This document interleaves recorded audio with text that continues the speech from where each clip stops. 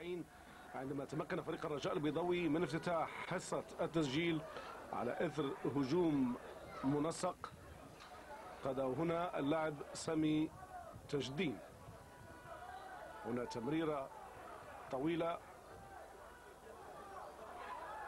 وأبو شروان يتمكن من إحراز الهدف الأول في مرمى الحارس بن زكري واحد مقابل صفر. هدف رائع لهشام أبو شروان في الدقيقة الأربعين واحد مقابل صفر نتيجة الشوط الأول. الشوط الثاني الدقيقة الرابعة والستون اللاعب الكاميروني فرانسوا يضيف الهدف الثاني لفائدة فريق الرجاء البيضاوي. أهداف رائعة فعلا خلال هذه المواجهة. يبقى هذا أجملها. أبو شروان هنا في الدقيقة السابعة والستين من بعيد لتستقر الكرة في مرمى الحارس بن زكري فرحة كبيرة للجمهور الرجوي. الإعادة بالعرض البطيء ربما كان هذا واحد من بين أجمل أهداف هذا الموسم.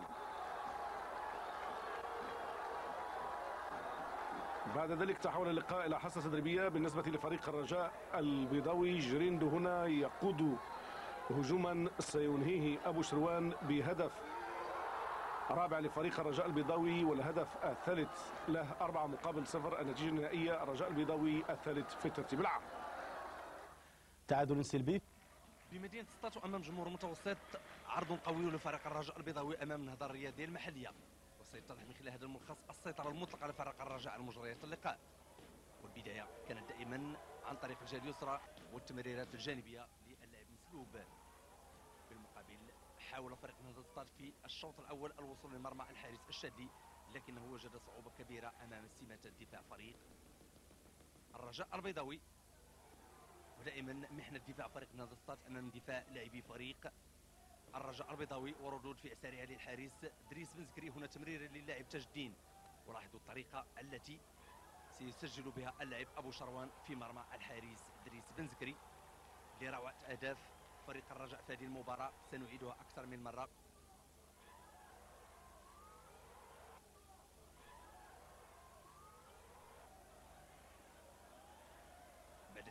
فريق نادى التدارك الموقف ودائما نفس الصعوبة للوصول لمرمى الحارس آه، الشدي هنا أحسن فرصة بواسطة عميد فريق مرابي وظلت هجومات فريق الرجاء تكتسي طابع الخطورة. هنا الظهير الأيسر الحيمر بقليل من الحظ كان بإمكانه إضافة هدف ثاني. إصابة واحدة إلى صفر فريق الرجاء. هي نتيجة الشوط أو من هذه المباراة في الجولة الثانية. سيطرة مطلقة على الرجاء على مجريات اللقاء عملت واحد اثنين بين عمر النجاري والكاميروني فرانسوا هذا الأخير يودع الكرة بكل هدوء في مرمى الحارس دريس بنزكري وفرحة على الطريقة الرجاوية. والواقع في الحارس دريس بنزكري كان في محنة في مباراة اليوم أمام المهارات الكبيرة للاعبي فريق الرجاء. هنا تمرير للاعب جيريندو في اتجاه أبو شروان. أبو شروان لاحظ خروج الحارس دريس بنزكري على طريقة اللاعبين الكبار. يضيف هدف آخر للرجاء أهداف من هذه الطينة لم نشاهدها منذ أمد طويل في الميادين الرياضية الوطنية. وفرحة كبيرة لأنصار فريق الرجاء عقب تسجيل هذا الهدف الثالث. وظلت السيطرة لفريق الرجاء 100% جيريندو يهدي كرة جميلة للاعب أبو شروان الذي يسجل رابع هدف في المباراة. والثالث له في هذا اللقاء والواقع في الرجاء بالرغم أنه حقق الأهم بفوز بأربع إصابة لا فقط. أمتع الجمهور الحاضر بمدينه سطات وخيبة أمل كبيرة للحارس دريس بنزكري الذي بالتأكيد سيتذكر طويلا هذه الأهداف الجميلة.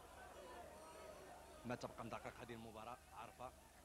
ميل فريق الرجاء لنهجه الاستعراضي لتنتهي هذه المباراة بفوز عريض ومنطقة مستحق للرجاء على النهضة الرياضية سطاتية بحصة أربع إصابات لا صفر لتبقى حظوظ فريق الرجاء قائمة حول الصراع على لقب هذا الموسم.